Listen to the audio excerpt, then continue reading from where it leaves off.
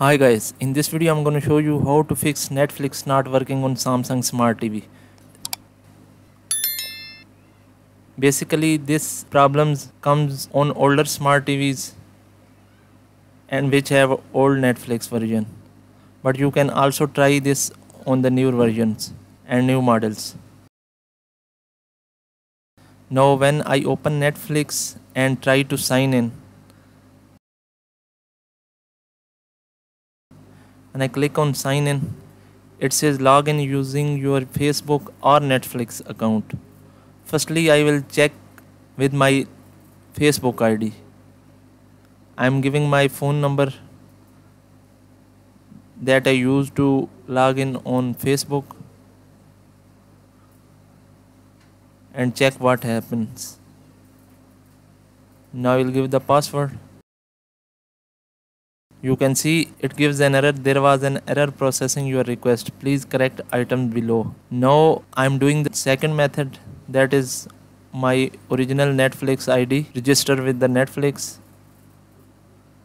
And when i try to log in it again says there was an error processing your request. Please correct items below.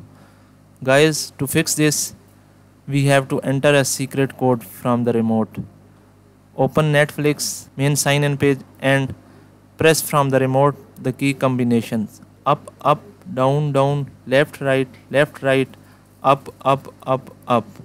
Guys, this is the secret code. Now click on start over. This is the trick viewers. Click on start over and now I will log in again and show you the result. Now click on sign in. I will log in with my original Netflix email ID.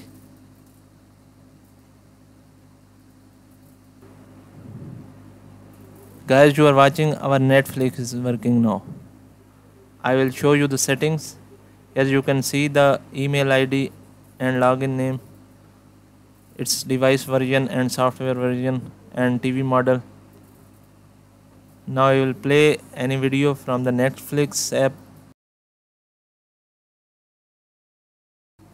You can see that our Netflix is working now.